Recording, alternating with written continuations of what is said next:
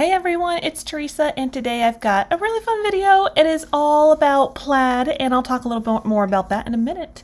I'm starting off with this project. Uh, I did one this back in Christmas time, obviously, and I'm going to revamp it. I first clipped off or like, you know, just flicked off all of those little beads on the bottom. They didn't stay very well, so I was just, you know, clip them all off basically.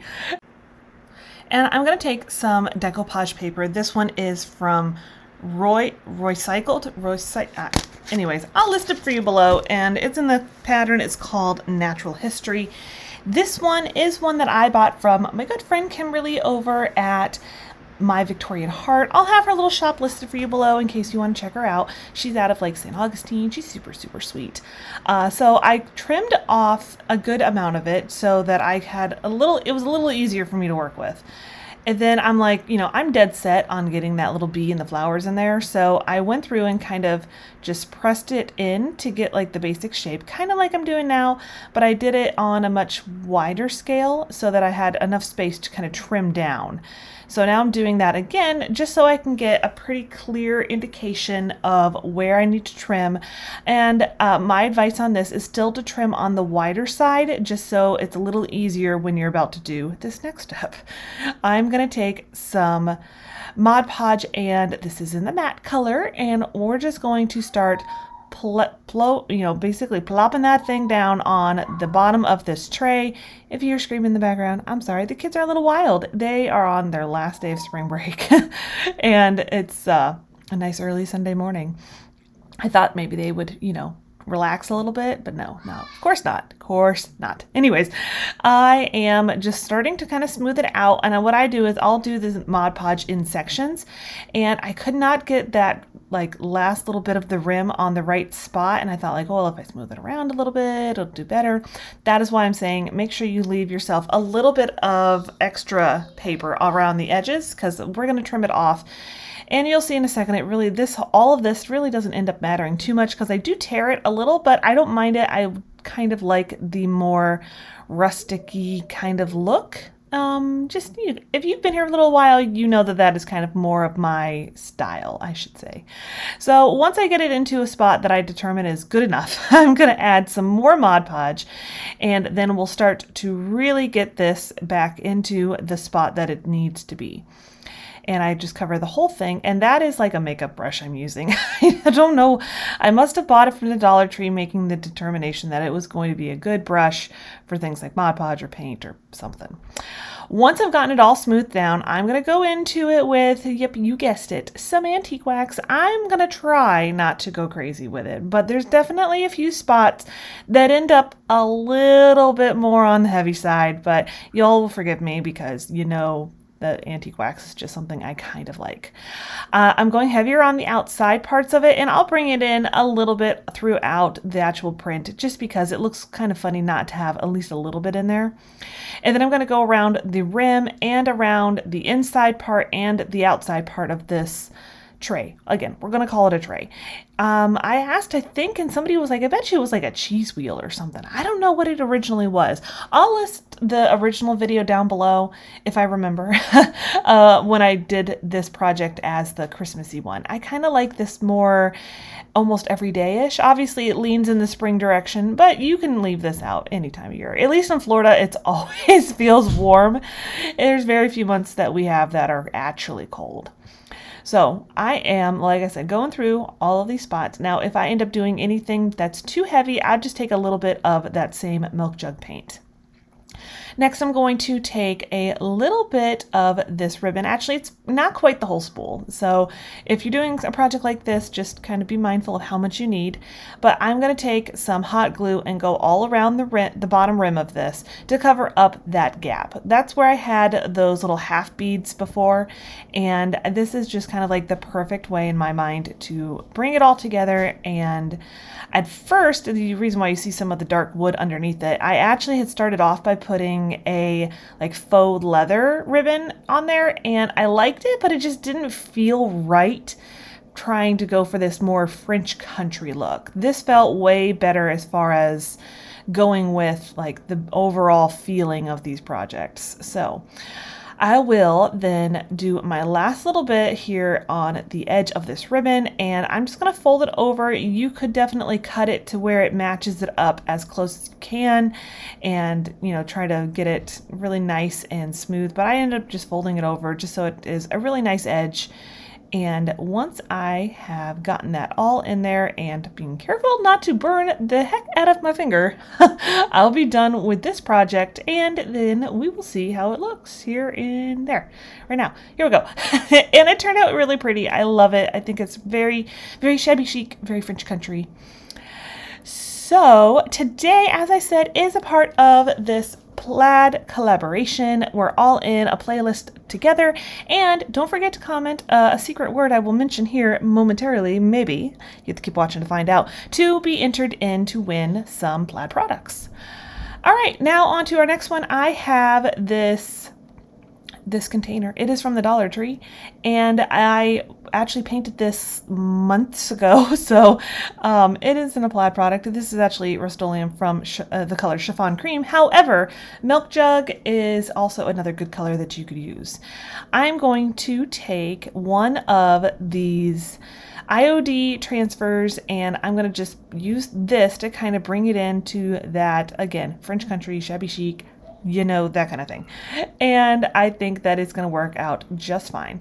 Uh, I am using some plaid products to hold my container in place. Um, but what I did before I apply my uh, transfer here, I did spray it down with a little bit of a clear kind of sealing spray and let it set. Uh, I did it overnight. It wasn't really necessary. It's just the way it ended up. Uh, just make sure you're paying attention to how long it has to sit on there before it's considered dry. And then I am doing, as you would imagine, rubbing that transfer on to the surface. This one is working out way better than it has for me in the past. I don't know, I've had hard times with certain ones of these. I think the harder the surface, the better it is. If it's like a wood surface and it's, you know, softer, you're gonna potentially run the risk of getting some of that rub on transfer like pressure spots. I don't know. I'm taking then the little sheet that it was on and just going over it really quick just to make sure that there aren't little pieces sticking up or anything like that. And then, uh, yeah, you guessed it, some wax. some of the Folk Art Antique Wax, which is our secret word. Make sure that in your comment on this video, you use the words wax. Just it just could be any kind of wax. Just wax in general. Just make sure you're using that word so that I know you want to get entered in to our little gift away. And don't forget, uh, like I said before, check out all the videos on the playlist. That should be the basic rule of it is you have to go through and check out all the videos and find their secret word that they're using on their video. It will more than likely be different. Uh, maybe some people have the same thing. You never know. I, there could be some antique wax lovers out there like me because what's not to love, right? Um, so just make sure you check out their videos for their, their secret words. And here's how it turned out. It is, it is so pretty with a little bit of that pop of color from the lavender. I think that it is absolutely gorgeous. Now I'm going to take you for a little blast from the past from a couple of projects. Uh, this one was, I just did a quick coat of the wood tint in the color gray, and I'm using a Chalk Couture transfer. I believe this is one of the first projects I made, but it turned out so pretty I had to show it to you again. So I did fuzz it and now I am just going to line it up. Now most of the transfers that they have are not a lot of them are not made like perfectly straight lines. They're kind of got like this one. It's got a little bit of a curve to it so that it's so much easier uh, to actually like place it. So I'm going to take a few different colors. This one here is in the color eucalyptus and I'm going to use that on all of our little green pieces with a mini squeegee just so we can kind of work color by color of what we're going to put in there. I'm going to use a little bit finer of a tipped uh, tool. That is called a multi-tool.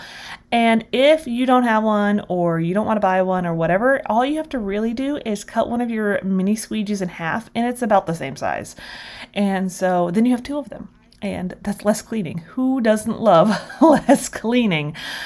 I love less cleaning. Anyways, well, obviously it's still cleaning the same amount of you know, items or potentially more, but you have to do it less often, which is really the goal here.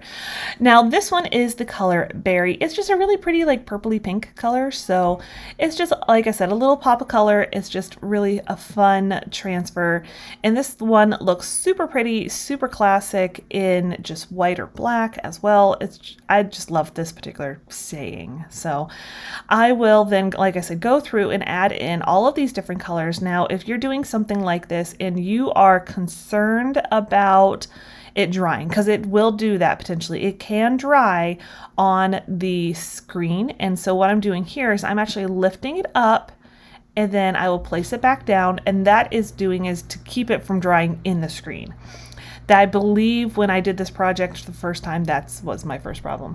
Um, but once it is completely done and uh, preferably dry, I'm going to take these little details. I want to say I got them from like Hobby Lobby and I'm going to add them on to the corners of this gorgeous little piece.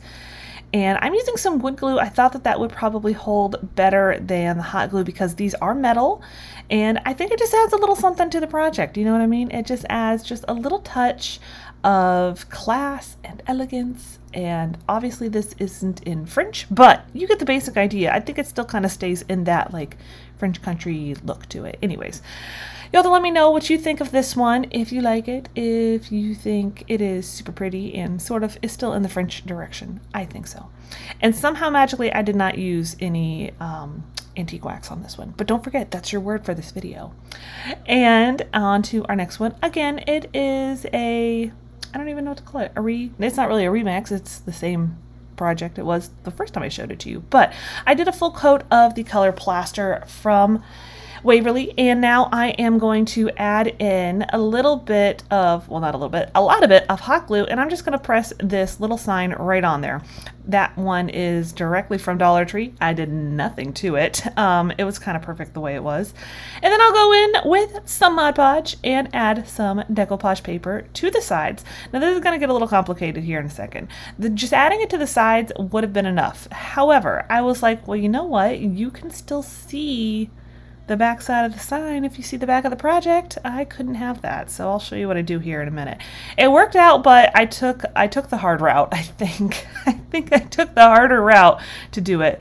But these little birds are super precious, super pretty for spring for sure.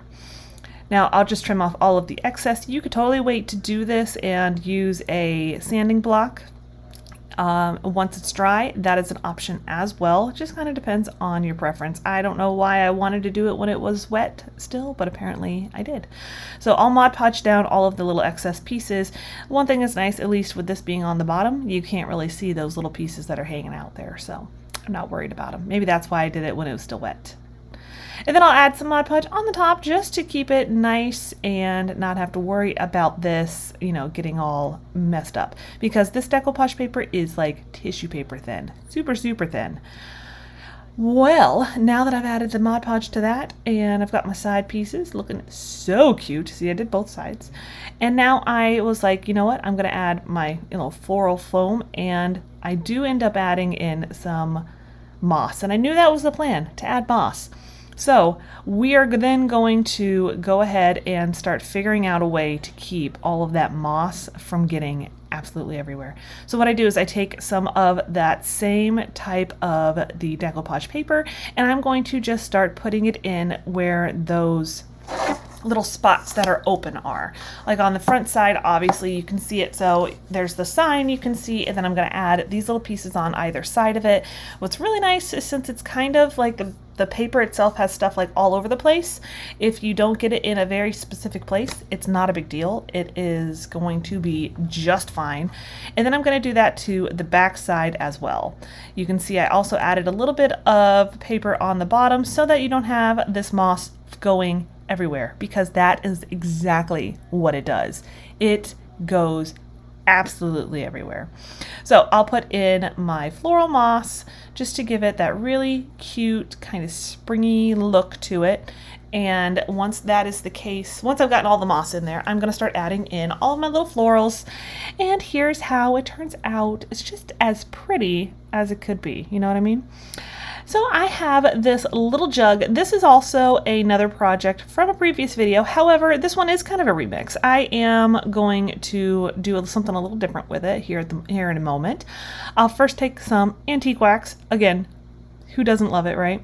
It doesn't stick very well, so if I were to do this over, I would probably give it a quick little spritz with some matte spray paint, just clear matte spray paint would do the trick just fine if you wanted to have like your antique wax adhere a little bit easier. And uh, it's neither here nor there. It ends up working out okay. Um, but then I kind of started wiping it down. I'm like, yeah, I'm not real sure how I feel about that. So anyways, we're going to move on to making this little mold. I'm going to take this clay with an IOD stamp. You can use all of their IOD products as uh, for stamping as well as, uh, well, you know, in the clay as well as using it for like the ink and stuff. So I will roll out my clay nice and flat. And then I messed it up apparently, so I will re-roll out my clay. I, I, don't know, guys. It's been a while since I did this project, but that's okay.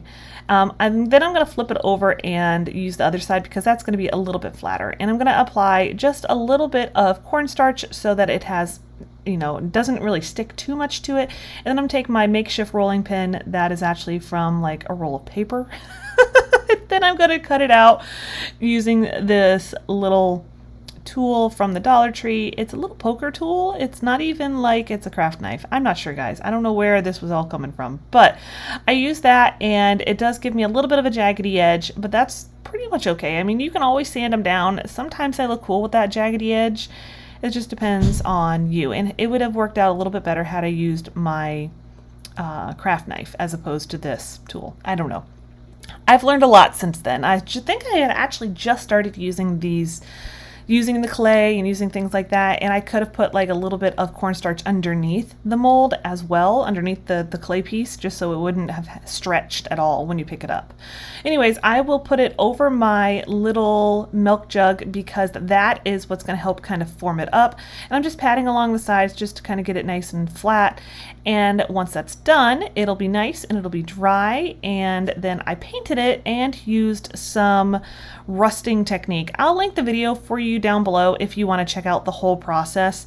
It's a whole process to make the rusting um, co like compound. I don't know what to call it. It's kind of sciencey, um, but I do take some hot glue and glue it down. Now here it is, present day. Um, we did a little time travel.